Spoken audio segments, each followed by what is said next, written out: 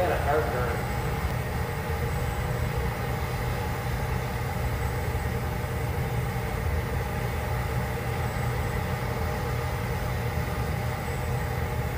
Hi everybody, welcome to the TMA Glass Pavilion. My name's Laura, this is Steve, he's gonna be our gaffer today. Um, we're doing this as part of our great art escape event, so we're live streaming for the first time this year. So if at any point you have any questions, you can go ahead and type them in the comments, and we got Misha behind the camera, and he can read them to me, I can read them back to him. Before we get started, I really just wanna go through all of the equipment for anybody who's never seen a hot shop demonstration before. So I'm gonna have Colin here at the end open up the door to our furnace. And this is sort of where we store our hot glass. So inside that furnace is a ceramic crucible or ceramic bowl. And that's going to hold about 500 pounds of molten glass. So we can throw the glass in cold at night, heat it up to that hot, hot temperature, 2150, and then we can start working with it. This keeps track of lovely blowpipe out of our pipe warmer. And we have to preheat all of our pipes because hot glass only sticks to hot waste. So if we were to take a cold stainless steel pipe and try to put it in that furnace, it's not going to pick up any of that glass. It's going to be really difficult to work with. So we got a nice preheat. Keep going into our reheating chamber. And our reheating chamber is used to reheat the glass. Once he pulls it out of the furnace, you'll notice it'll slowly sort of start to cool down, become that room temperature glass that we're familiar with. And at that point, Steve can't really work on it anymore. So he's got to get back up, go back into our reheating chamber, and start melting everything down. So we got our pipe warmer, then way down there we have our pipe cooler. You'll notice Steve is wearing gloves, and as he starts to work on the piece, it's going to get really, really hot. So in order for him to be able to grab that pipe, sort of like a hockey stick, he wants to spread his hands apart. He's going to take advantage of that pipe cooler, make sure he's got a nice width. He's cleaning out a little bit of gunk on the pipe, making sure it's nice and straight working in here, we're always working in the round. So Steve's pipe even has a little bit of a bend. You'll notice as he's turning, it's going to cause it to be a lot harder to keep the object on center. Steve's going to go in, he's going to stick his pipe on the sill, go right into that furnace. And the glass in there is sort of the consistency of honey. So if you were to take a chopstick and stick it in a bowl of honey, you gotta work really, really fast to wind that liquid up onto your stick. So you'll notice that glass has that really bright glow. That's it's really hot really fresh. Steve's working on a blowpipe today. And we've got a couple of different pipes up on the pipe warmer. Um, our blowpipe, I can go ahead and show you one. So our blowpipe is nice and hollow. And we can tell it's a blowpipe because it has this nice tip on the end. So we can physically blow through this hole here and inflate the glass with our breath. Then Steve has a couple other pipes up here. Those are called punty rods. And those punty rods will just hold a solid mass of glass. Gonna walk around Steve's bench. You ever hear me talking about the bench, this is what Steve's working on. So we have our bench is where he's sitting and then our tool deck when we're working in here, sometimes in factory production, you'll see people standing and blowing glass. But for us, much easier for us to just work and turn on those nice rails there. This can be really taxing on your body. So when we're working in here, we're really trying to minimize the amount of pain that we're putting our body through in the long term. Steve just put a little bit of air in there. So what he can do is he can blow into the tip of that blowpipe that we looked at before. And he can physically cap, put his thumb on top of the end and tap that air in. And that air, as he's blowing, is going to want to go where the glass is the hottest. But Steve's just little bit of a. If he were to get like 12 gathers of glass and then try to put a in it's going to be a lot harder than just takes that very first gather when it's nice and really hot from the furnace and get a little bubble in there. Keep letting that cook that up a little bit now. And we're working in here, we're working in layers. So this is sort of a starting layer. If you try to just wind up a ton of glass on there at once, you physically can't turn fast enough to get enough mass to make an object. The soup's going to let this cool layer cool down nice and even. If soup just went right back in there when it's hot, that bubble's going to totally heat up and collapse in the furnace. So we're letting it nice and set up. Now you can see Steve sort of has double the amount. So every time he goes in there,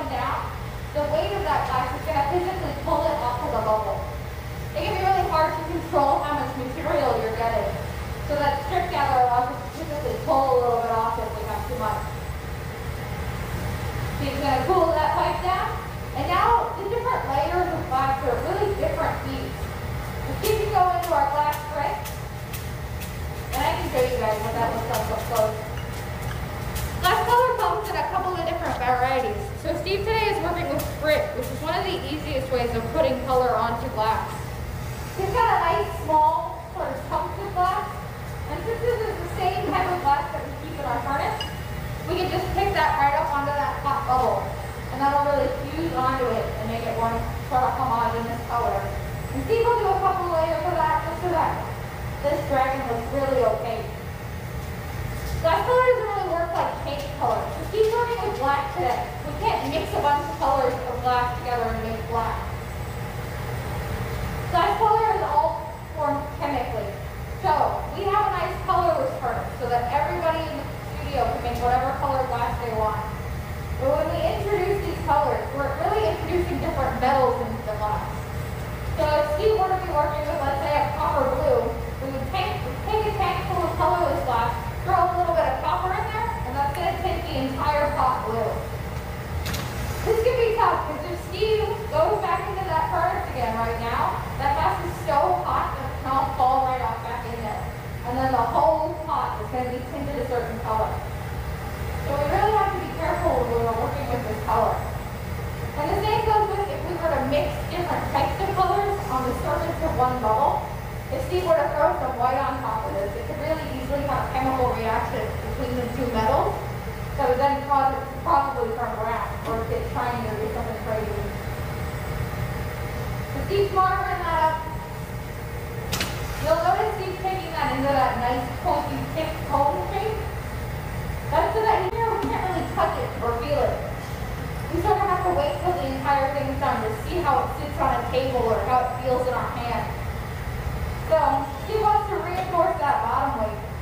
Just because if we take a top-heavy object and we put it on a shelf, it can be really easily knocked over by a person or like a cat. And since we're working with such a fragile material, we really have to plan ahead of time before we actually have the piece finished. We just hear Steve and Joe talking a little bit. And here it's really a team sport, so you'll notice there's a lot of us on the floor. And if Steve were making something with like two more gathers, we probably need all of us. And so on with this cleaver, can do a little bit of shaping, punching it up. But we sort of adapted to a post-pandemic hot shop. So we're all wearing masks. He has a lovely blow hose if he needs it that he can then connect to the end of his pipe. He's to give that a little bit of. Now he's going to physically start shaping it. What Steve's doing today is called hot sculpting, which is a lot different from our usual demo. You usually see us take a vessel or something more functional. But this can get really fun. This is sort of the art part of glass blowing. We can sort of make any shape we want in here, using the skills we learned when we're making things like cups and bowls, to then make future sculptures and different types of artwork. Steve's putting in our jack line right now. And this jack line is sort of constriction point. It's telling the glass where we want it to physically break off with a pipe. You notice nothing in this lesson has a pipe stuck to the end of it. So we sort of have to tell that glass where we want it to go. And when the glass is hot, it has certain properties that we can either really use to our advantage or we're working against the entire time. He's going to heat that up a little bit. And if he were to make that jack line and then make it too wide, when he goes to break this off, it physically won't come off the pipe where we want it. He's using a little bit of gravity. He's giving it a nice body shape. You can see how Steve's lifting and putting the pipe down. And he can really use gravity to his advantage. Normally in here when you're working and we're making like a vessel or something, you'll notice us turn really the entire time. We're really in control of how the shape is moving. So once we get into hot sculpting like this,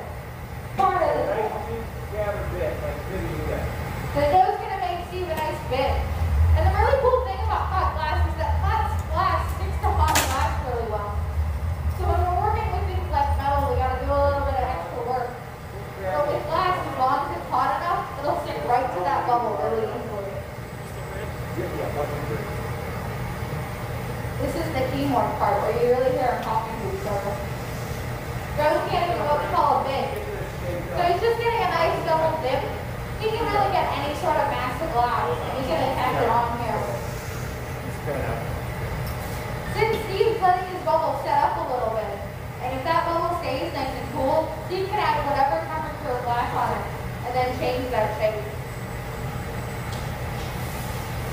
So while we're waiting for this to set up, Joe's gonna get our bit ready. We can talk a little bit about the dragon that specifically Steve is like the making. other again, and you can do the brown, you know, yeah, you can cross it. Oh, they're getting an optic mold. We're getting fancy, guys. So, Steve's making the dragon for Sleeping Beauty. Um, she also, this mold really takes advantage of that property. Yeah, go ahead. This is how we make things like pumpkins, and you know how they have those ridges? Not much, just a little. Just give it a little Bring swing. that. He's gonna go straight up and down, and Steve can just attach that top bit right onto his bubble. And since his bubble isn't cold enough that it's gonna break, but hot enough that this is gonna change the shape, he can really really hot glass and then cut it off with his straight shears. Just like your regular scissors. So Elizabeth doesn't get invited to the birthday party, and she takes it out on um, young Aurora or Sleeping Beauty by then putting a curse on her. So on her 16th birthday, she's gonna get tricked, and then the whole town's gonna fall asleep. She's gonna cut that off for you. You can really see how much time he has to physically manipulate that hot material. gathered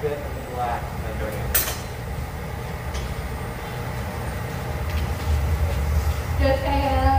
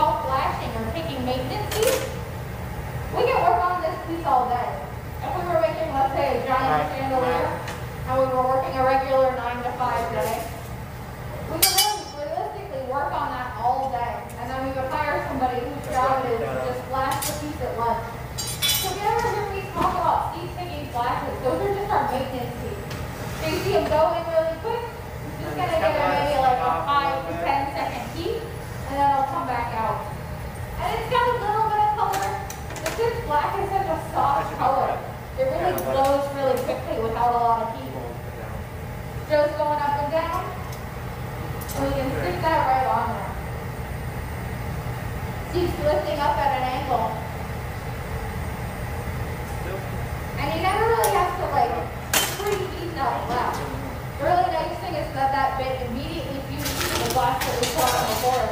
Somebody get me some different straight shears because these have wax all over. We're getting another set of straight shears. The tough thing about hot sculpting is that Steve only has this much room for all of his tools. Because there are hot sculptors who will have one specific tool just to add one specific kind of texture. But there's a guy who makes snakes and he has one tool just to get that snake scale. Okay, Colin, this is what I want. I want you to, he's got lots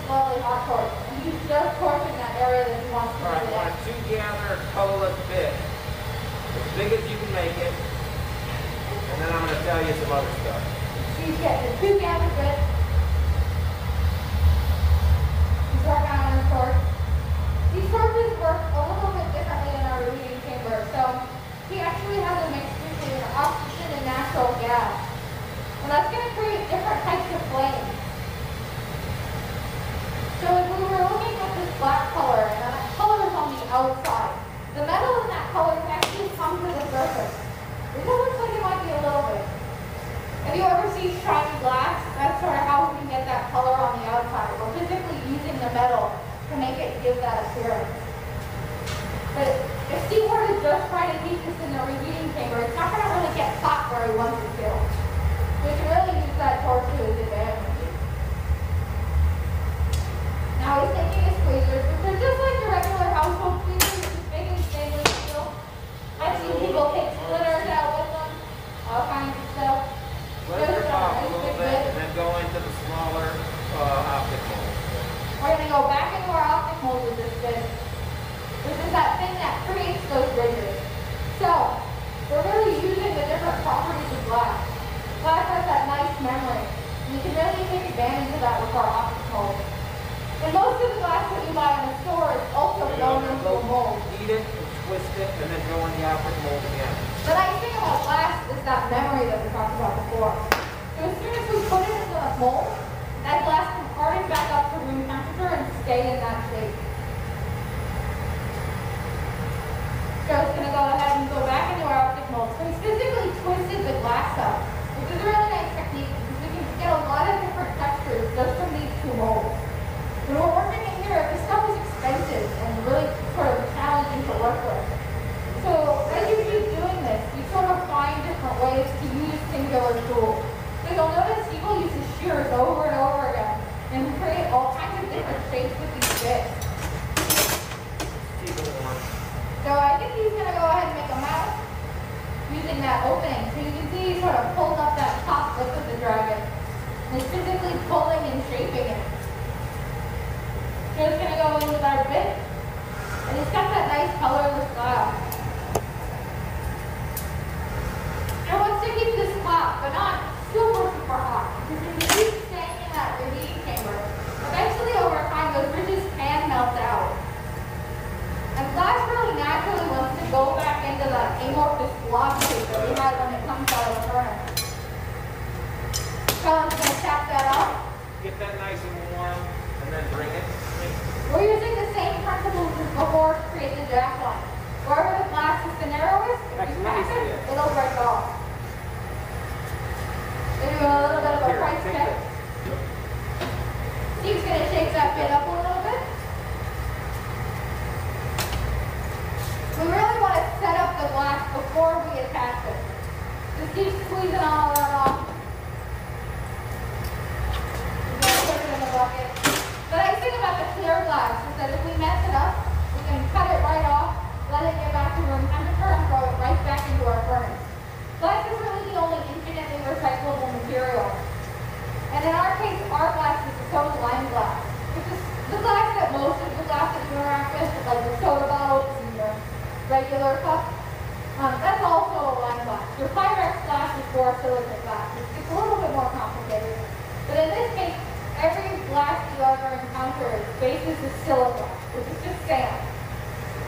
So everything's made out of sand. And as we heat that sand up, if we were to just throw raw sand in there, we'd have to get all the way up to about 4,000 degrees. And we're working at 2100, which already feels hot enough. So if we go all the way up to 4,000, I don't want to see that. So we add a little bit of flux in there, and then we add a little bit of limestone in there. And that flux is going to allow us to melt it at a much lower temperature. Whereas that limestone is allow, allows it to be really nice and stable. much black there. All of our work in our ancient collection doesn't have any of that limestone in it. If we were to stick it in a bucket of water, over time it's going to sort of break down and go back into that silica sand. So take that. We're going to trade off a little bit. Steve's got a nice big, he's got nice deep ridges. you can shake up that tail a little bit. You see how that glass is really glowing, so you think it'd be really hot, so you can't really move it too much. All right, go ahead and bring that. Joe's bringing our bed over. Just gonna take it straight up and down. This is so that gravity doesn't pull it from one side or the other. Pulling it nice and evenly. And so you can stretch that bit out and then cut it right off of the shears. And you see it has those nice ridges still. Of that memory that the hole.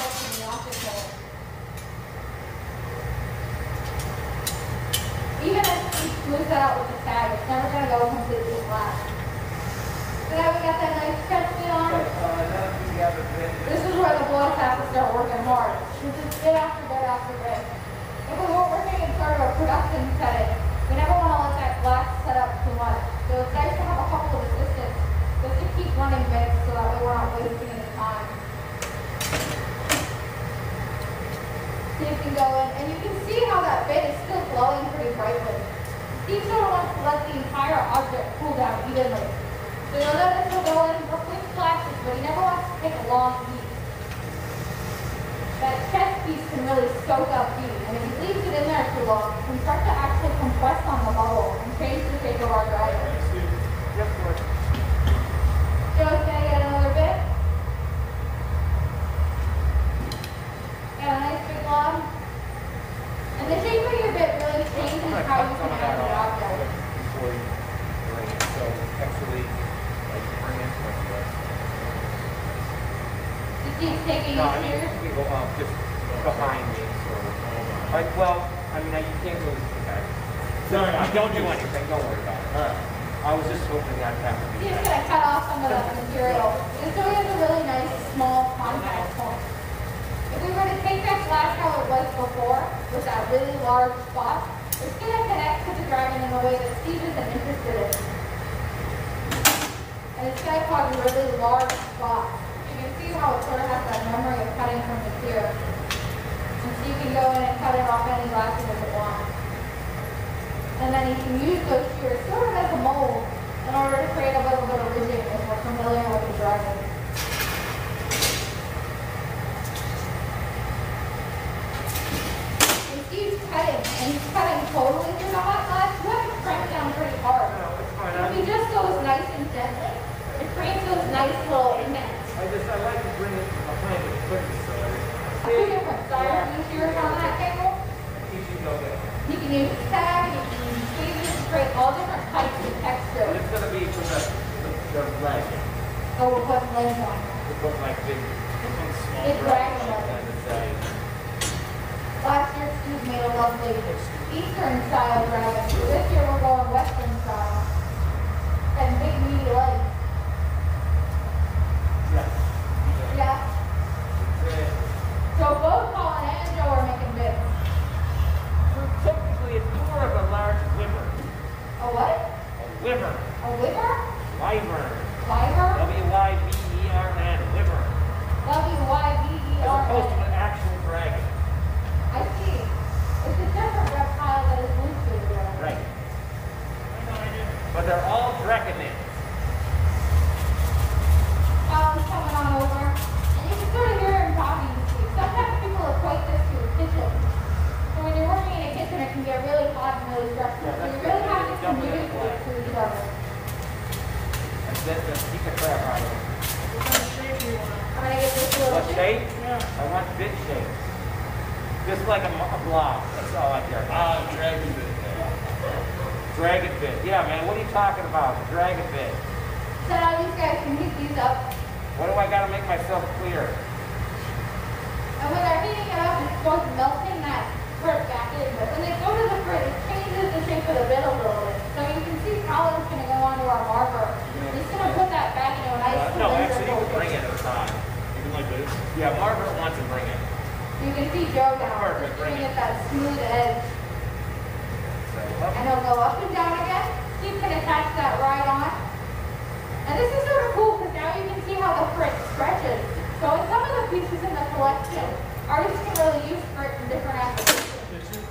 We can use it almost like paint to get a nice line so gestural shape. She's going with the scissors, adding a little bit of definition. Now with the tweezers you can pull, give it a little bit more of a joint look as for the thigh would be Yep. Do you want another door, Steve? Okay. Do you want another door? Okay. I As he's working bigger and bigger, sometimes we'll have to start opening the doors. But we like to keep those as closed as possible. Once you start opening those big doors, it can get really, really hot in here. And you'll notice not everyone's wearing gloves, Joe's wearing a protective sleeve, which can sort of protect your fragile forearm skin. But over time, you sort of get used to that heat. When you first start working with glass, you can developed something called heat rack, which is just this big ugly rack on your forearm. The things been doing this a long time. I'm assuming all of the nerves in the forearm don't really feel that heat anymore. Pretty much.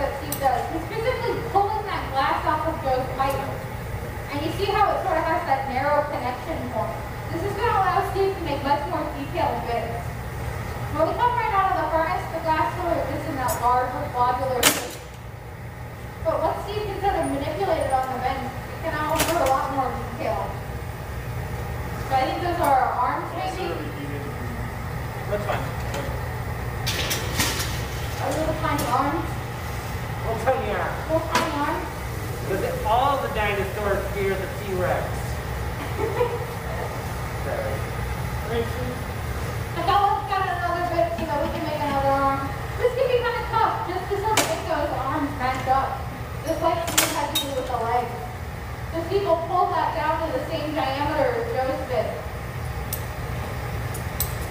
And stick that on right on there. This can be set because Steve really wants to make sure there's a nice hot seal between the lines.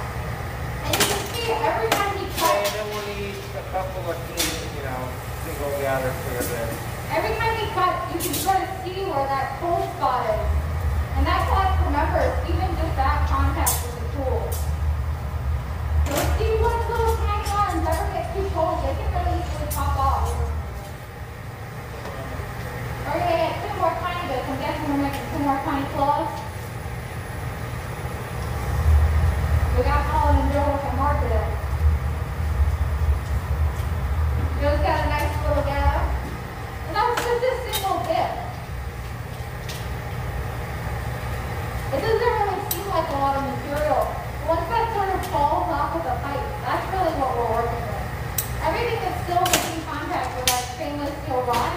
down more work. And that's always fun. So. Tom's going to bring his foot over. Go straight up and down. He's going to pull it off. So it's a nice little same diameter that Joe's was. And you can stick that right on. The nice thing about working with the black flag, you can really see where it's hard. You can see underneath the hand where it's sort of starts to heat back up.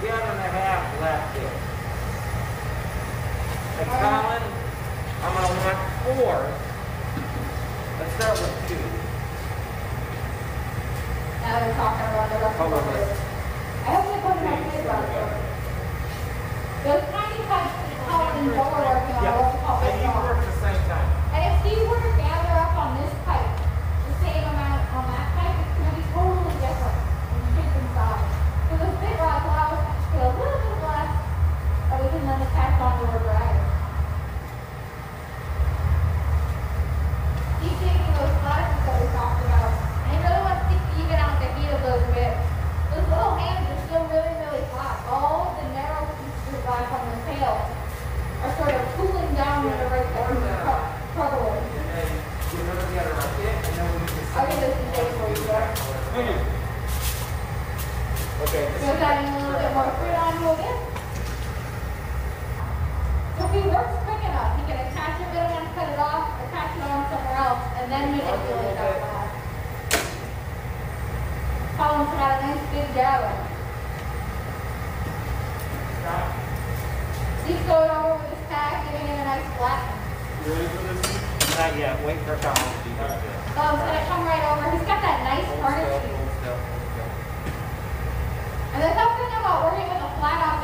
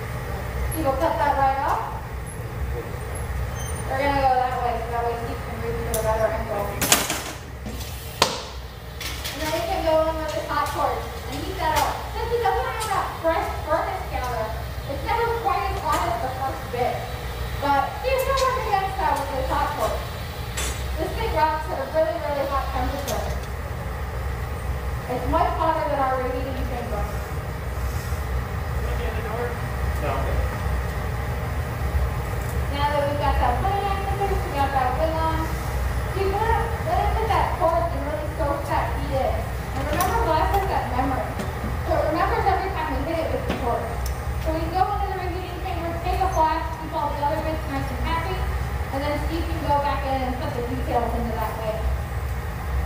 Now you can see our punty starting to move a little bit. We know that that's nice and happy. We can let that set up a little bit. Okay, so I'm going to want another two, actually let's do the head first. Give me a nice big single gather uh, this bit. And we're going to start working on our head. This is a lot of bits. And then whatever's left, I'm going to use up, and we'll rake the feet back up whatever's left. Okay, let it hang off just a little bit. You'll see Joe with a lot of flies on that foil. Right. And the really nice thing about working with glass with the gravity is that that gravity can then pull that glass right off of the pipe. Keep that up. And it'll allow us to use it. So it's going to eat up that little extra bit of glass while Steve does this tiny detail, and then Steve's going to attach that right back on there just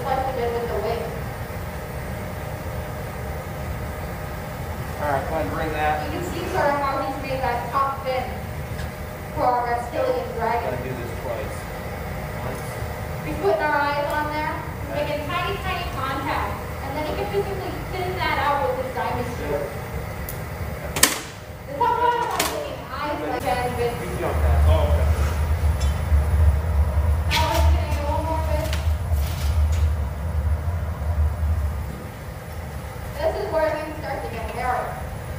you guys are laughing at all.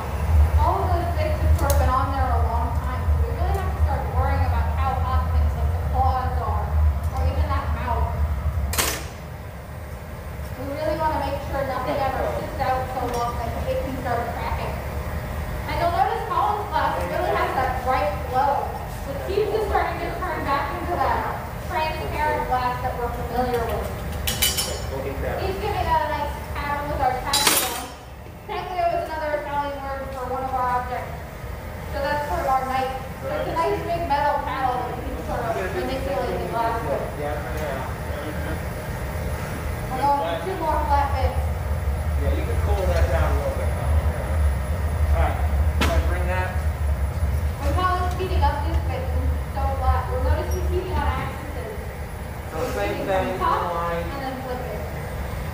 Then go a little bit.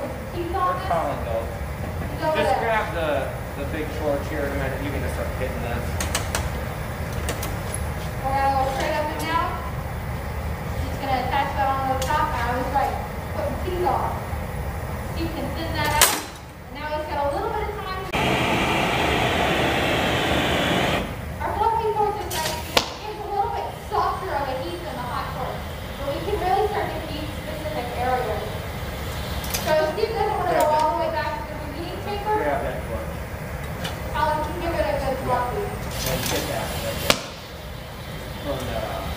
get